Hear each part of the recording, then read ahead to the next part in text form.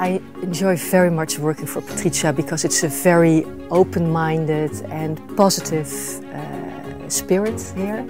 Here in Amsterdam we have around 25 real estate specialists. I have worked in the real estate business for more than 20 years now. At Patrizia Netherlands I'm the asset manager for residential business. In The Hague we have one of my favorite projects that I will show you now. We managed to buy this property as an off-market deal at a currently good price and a good location. What else can you want? Several stations of public transport are right next to the building.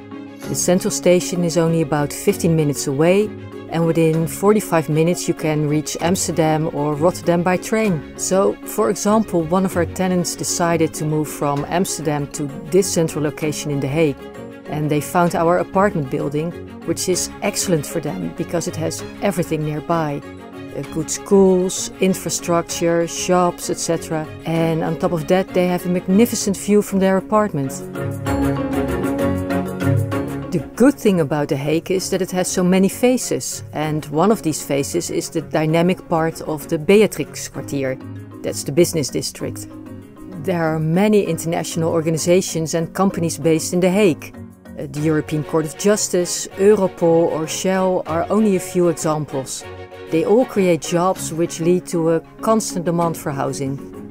The Hague is an important international and modern city. It has a beautiful, elegant and historic city centre with the government buildings, with Paleis Noordeinde, which is the working palace of our royal family. It's a really nice city to live in attractive housing estate with flair, high quality of life for our tenants, and an excellent access to public transport. That's why we believe in this property.